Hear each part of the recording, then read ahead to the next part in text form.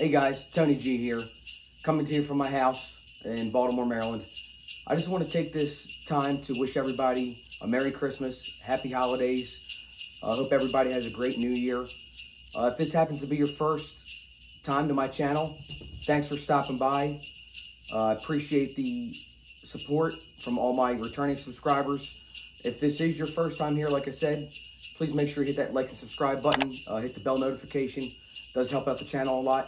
The poker vlog's about two years, two and a half years old now.